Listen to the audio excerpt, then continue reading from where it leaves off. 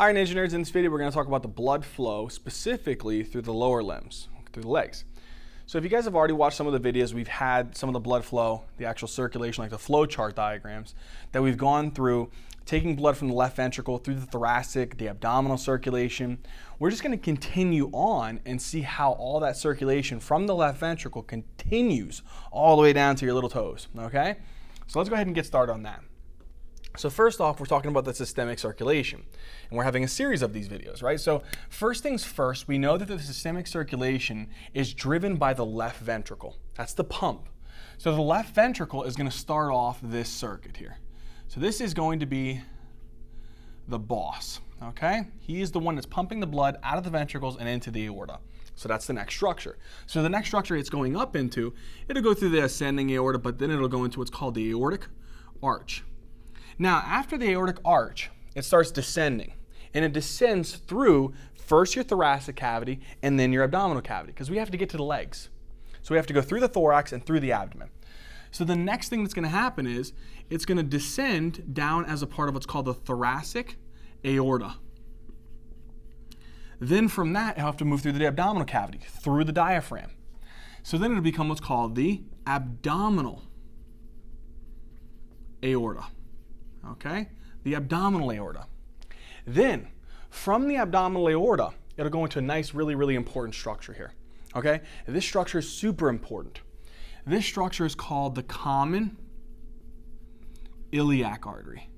So then it'll go into another structure called the common iliac artery. Now we're only doing one side, so realize that there is a right common iliac and a left common iliac. We're just treating it as a one general structure here, okay? But do realize that when the abdominal aorta is progressing downwards, it's descending, it gives off two branches, a right common iliac and a left common iliac, just so you're aware. So now, that common iliac artery is going to bifurcate. It's going to split into two branches. One's an external branch and one's an internal branch. So let's say that this one over here is the internal iliac artery. So this is the internal iliac artery.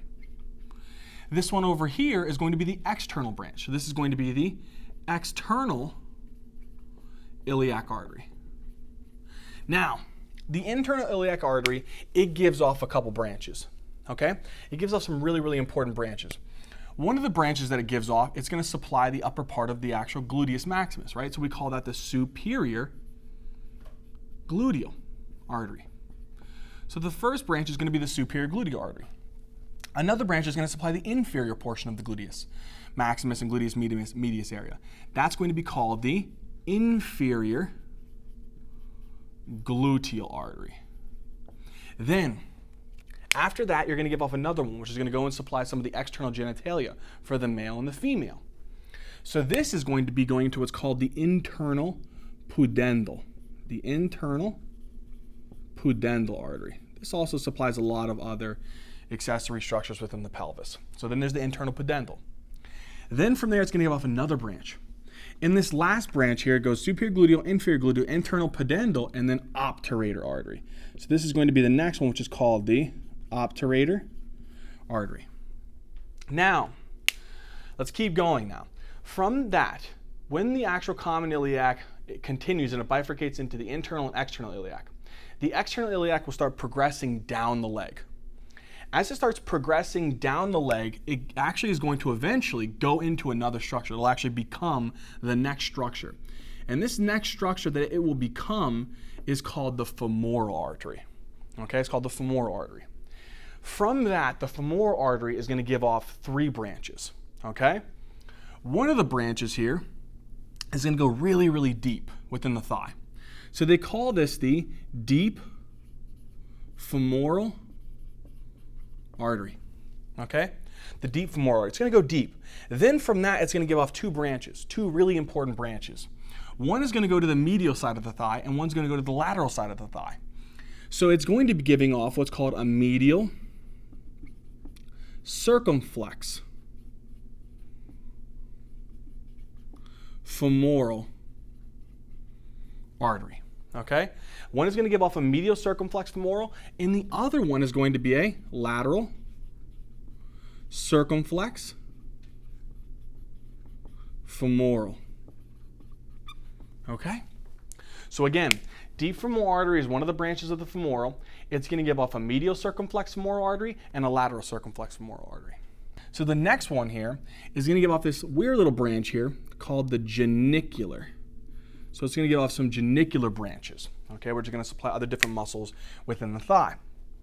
Okay, so femoral gives off a deep femoral branch which goes into medial and lateral circumflex. Then it gives off a genicular. Then it's going to give off another one. And this other one, it'll actually move through what's called the adductor hiatus and give off this branch here called the popliteal. Okay, the popliteal artery. Now, the popliteal artery is going to give off two other branches. One of the branches is going to be called the posterior tibial artery. So one is going to be called the posterior tibial. The other one is going to be what's called the anterior tibial artery. Okay, so we give off two branches from the popliteal. One's the posterior tibial artery, the other one's the anterior tibial artery. The anterior tibial artery will then continue to descend. As it goes down, it goes through a really important structure that you can actually monitor for a pulse. And this is called the dorsalis pedis artery. Okay? So now there's going to be another one called the dorsalis pedis artery. So first thing, anterior tibial goes into the dorsalis pedis, and then from that, the dorsalis pedis makes kind of like a little arch. It arcs around, so it's called the arcuate artery. So then it gives off this little structure here called the arcuate artery. We don't need to put artery because we know it's going to be an artery. Right? So we have the arcuate artery. Then, from that, what happens? The dorsalis pedis goes to the arcuate artery. From the arcuate, you go into what's called the dorsal metatarsal arteries. So the dorsal metatarsal arteries. Then from the metatarsal, we go to the digits. So then it's called the dorsal digital arteries. So the last one is going to be the dorsal digital arteries. Okay? Then the posterior tibial, which is the other branch from the popliteal, is going to go and is going to give off one branch here first, which is either called the fibular or the peroneal. You can call whichever. I'm just going to call it here the fibular. Okay, so it can give off the fibular or it can give off the peroneal branch. It's the same thing. The other branch here is going to be called the medial and lateral. So there's two of these here, medial and lateral plantar arteries. So the posterior tibial can actually feed into a medial and a lateral plantar arteries. From these medial and lateral plantar arteries, they come around and they form what's called an arch. And we call that the plantar arch. Okay? From the plantar arch, it's going to give off branches again. And these are going to be supplying the metatarsal area. So this is called the plantar metatarsal arteries. And then from the metatarsal is going to go to the dig digits. So then the last one is going to be the plantar digital arteries. Okay? All right, super quick recap. Following blood all the way from the left ventricle all the way down to the toes. Here we go. Left ventricle. Then you go into the aortic arch. From the aortic arch, you go to the thoracic aorta. From the thoracic, you go to the abdominal. From the abdominal aorta, you go to the common iliac. The common iliac splits. It goes into an internal iliac, which gives off the superior gluteal artery inferior gluteal artery, internal pudendal artery, and the obturator artery. The other branch of the common iliac is the external iliac. The external iliac supplies the femoral artery. The femoral artery gives off three branches, popliteal, genicular, and deep femoral. The popliteal artery branches into the posterior tibial and to the anterior tibial. The anterior tibial goes through the dorsalis pedis to the arcuate to the dorsal metatarsal, then to the dorsal digital. The posterior tibial gives off a branch called the fibular artery, and then it also gives off a branch, it's going to supply the medial and lateral plantar arteries. The medial and lateral plantar arteries will then actually push the blood into the plantar arch, then from that to the plantar metatarsal, then to the plantar digital. And then finally, we go to the genicular, which is going to supply some structures within the thigh. And then the other branch is going to be the deep femoral artery. Okay, and the deep femoral artery is going to branch and give off the medial circumflex femoral and the lateral circumflex femoral artery.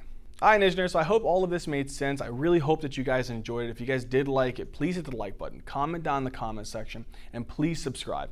As always, Ninja Nerds, until next time.